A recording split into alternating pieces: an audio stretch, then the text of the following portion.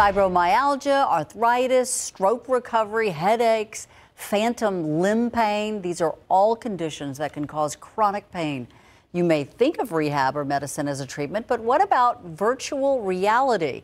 Courtney Friedman shows us how this seemingly unrelated therapy is actually working. The mind's power over pain is stronger than we realize. We're sort of fooling the brain in terms of what we believe we see as opposed to what is actually there. For 15 years, UT Health San Antonio professor Maureen Simmonds has lowered her patients' pain and changed their attitudes towards pain using virtual reality.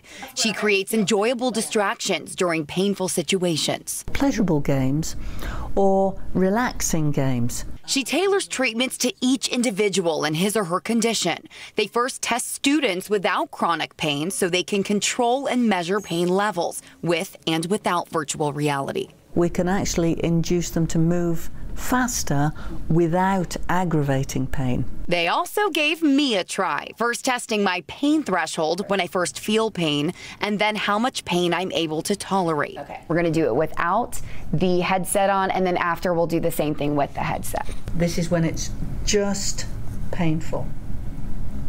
Okay, that's pain. I started feeling any pain at level three. This time, as much as I can tolerate. Okay. Okay, and you can see that that is nine. Nine. Okay. I guess I have a high pain tolerance. So, could the virtual reality bring that threshold and tolerance even higher? So, I'm a bumblebee flying from side to side right now. My threshold rose okay. to four, and my tolerance? Okay. okay. 10.2. Wow, so, that's crazy. These high tech distractions have led to the same type of success with patients long lasting pain reduction. Simmonds hopes this will allow patients to cut down on at least some pain medications, including opioids. Courtney Friedman, KSAT 12 News. And here's a reminder she reminds people this is not a cure for pain, just a tool to alter thinking and help reduce pain. If you're interested in volunteering for future studies, you can call 210 567 8766.